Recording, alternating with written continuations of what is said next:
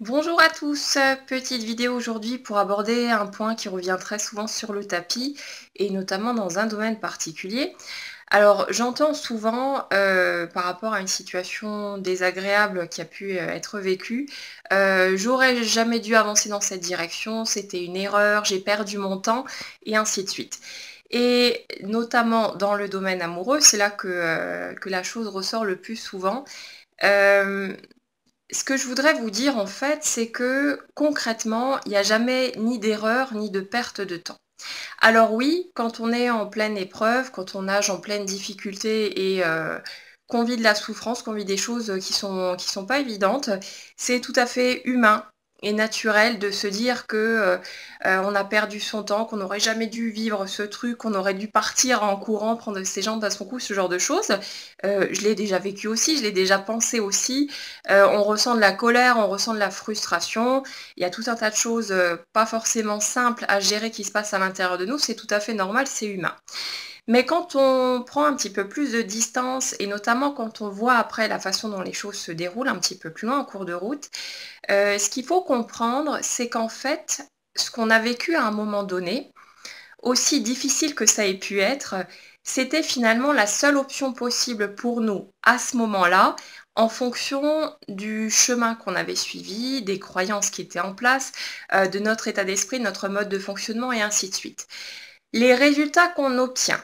à un moment donné, ce sont les seuls résultats possibles pour nous en fonction de tout le chemin qui a été parcouru avant. Concrètement, euh, si on pouvait suivre un autre chemin à un moment donné, on le ferait, on choisirait de meilleures options. Euh, si on avait la possibilité d'avoir une vue d'ensemble, quelque chose de plus large, forcément, on, ne ferait pas ce qu'on appelle des erreurs euh, le chemin se déroulerait peut-être beaucoup plus facilement. Mais concrètement, euh, on ne peut pas juger finalement ce qui s'est passé avant en fonction de qui on est aujourd'hui. On ne peut pas regarder en arrière et se dire oh là là, j'aurais pas dû faire ça, j'aurais pas dû vivre telle chose, j'aurais pas dû avancer comme ci ou comme ça. Parce que à ce moment-là, quand on replace les choses dans leur contexte, euh, on n'avait pas le même état d'esprit, on n'avait pas fait le même chemin, euh, on n'avait pas la même réflexion, on n'avait pas les mêmes croyances. Il y en a plein d'autres de croyances qui étaient encore là et qui ne sont plus là aujourd'hui. On n'était pas la même personne tout simplement, donc on ne peut pas juger euh, les choix qu'on a fait par le passé en fonction de qui on est maintenant. Et le truc qu'il faut comprendre, c'est que pour que vous puissiez avancer comme vous le souhaitez, que vous puissiez réaliser vos rêves, euh, concrétiser les objectifs qui vous tiennent à cœur. Euh, toutes les étapes que vous avez franchies, même si elles ont été compliquées, difficiles, douloureuses, euh, elles étaient nécessaires, c'était des pièces du puzzle qui étaient absolument nécessaires en fait pour que vous puissiez atteindre l'étape suivante. C'est un petit peu comme si vous aviez un grand escalier devant vous avec de grandes marches euh, s'il y a des marches qui sont manquantes entre-temps, vous ne pourrez pas passer directement de la première marche, celle du bas, à celle qui se trouve tout en haut. Il va falloir gravir les marches les unes après les autres. Et s'il en manque une entre-temps, vous n'arriverez pas à sauter sur le palier suivant. Donc quelque part, euh, c'est important bien sûr de, considérer les émotions qui sont là, euh, de prendre soin des émotions douloureuses, des, blessures qui sont en place, euh, et, puis de se laisser le temps de faire le chemin aussi, ça c'est sûr. Mais euh, même si vous nagez pour l'instant en pleine épreuve, que vous êtes encore en plein cœur de la difficulté, essayez au moins de garder ça dans un petit coin de votre tête quelque part et de vous dire que chaque étape de votre parcours, même si pour le moment c'est compliqué, que vous ne savez pas où vous en êtes, que vous nagez dans des choses difficiles, dans des choses blessantes, euh, tout ça, ça fait partie de votre apprentissage quelque part, ça fait partie de votre cheminement et d'une certaine manière, c'est grâce à ces éléments que vous vivez, ou plutôt à la façon dont vous, vous allez choisir de rebondir là-dessus, que vous allez ensuite pouvoir avancer vers quelque chose qui sera plus lumineux, qui sera plus heureux, euh, et qui va au final vous conduire euh, à quelque chose de beaucoup mieux, à quelque chose qui cadrera vraiment avec vos aspirations cette fois. Donc, euh, si vous regardez un petit peu en arrière, que vous profitez des expériences qui ont déjà été vécues, de tout ce que vous avez déjà surmonté, Euh, je pense que vous arriverez sans trop de difficulté à trouver au moins quelques exemples qui vont vous montrer que finalement chaque étape faisait partie du chemin. Et quand on arrive à voir ça petit à petit, même si ça demande un petit peu de temps et puis euh, ça demande de mettre notre ego en sourdine aussi, parce que le mental, lui, il aime bien se poser en victime et puis il n'a pas envie de décrocher de ce rôle-là.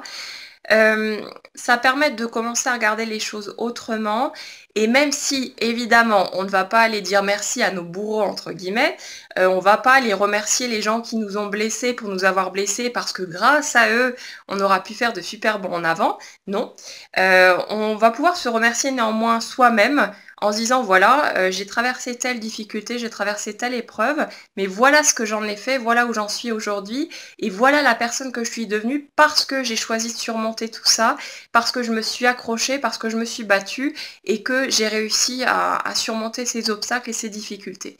Donc le truc, c'est vraiment de se dire qu'il n'y a pas de perte de temps ni d'énergie, il n'y a pas d'erreur. On fait simplement les choix qu'on fait du mieux qu'on peut en fonction des circonstances du moment et on fait ça tout, du long de notre parcours. Et euh, le truc, c'est qu'au moment où on fait ses choix, au moment où on choisit ces options-là, il n'y a pas d'autre voie possible quelque part parce que ce qu'on vit, c'est la somme de tout ce qui a été vécu avant, c'est le seul résultat possible quelque part par rapport euh, au cheminement qui a été fait jusque-là. Donc si vous vous surprenez à vous dire euh, avec colère que vous auriez jamais dû faire telle chose, que vous n'auriez jamais dû rester avec telle personne, que vous avez perdu 2, 5 ou 10 ans de votre vie, peut-être plus encore,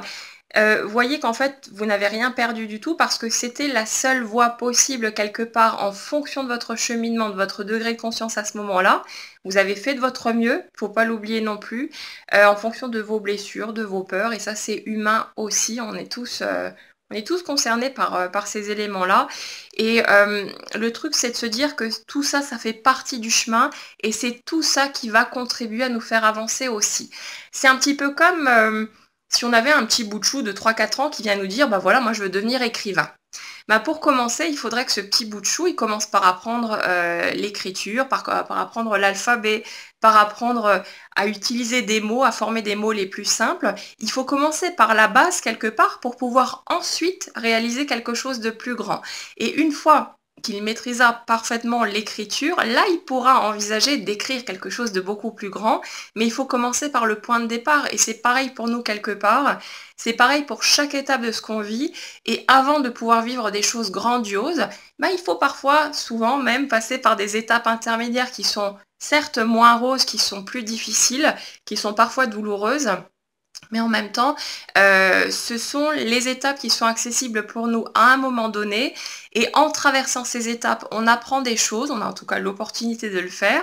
Parfois on est têtu, alors ça recommence encore et encore jusqu'à ce qu'on ait entendu le message et qu'on ait changé notre approche. Mais la vie nous donne toujours l'opportunité de continuer à avancer, de faire de nouvelles choses, euh, de continuer à évoluer, à grandir. Et quand on est arrivé à un stade suffisant par rapport à nos aspirations, ben là on peut voir de jolies choses arriver et de plus en plus à mesure qu'on avance de toute façon. Donc essayez simplement de garder ça dans un petit coin de votre tête, peu importe ce que vous vivez actuellement. Gardez en tête que chaque étape est nécessaire et qu'il n'y a jamais ni de perte de temps, ni d'énergie ou quoi que ce soit. C'est juste que ça fait partie de notre chemin, qu'il y a quelque chose à en apprendre et que plus on se met à l'écoute justement de, de, tout ça euh, pour essayer de chercher ce qu'on a à comprendre dans les situations qu'on vit et plus vite on peut sortir des galères pour aller vers de jolies choses ensuite. Voilà. Donc prenez simplement le temps de, laisser infuser un petit peu tout ça.